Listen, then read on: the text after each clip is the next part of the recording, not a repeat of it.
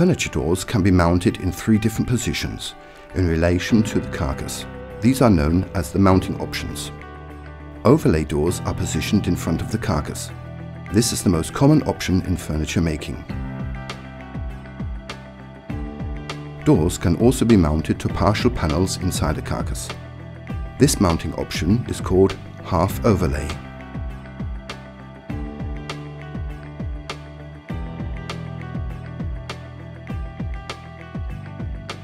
If the cabinet carcass surrounds the doors, the mounting style is referred to as being inset.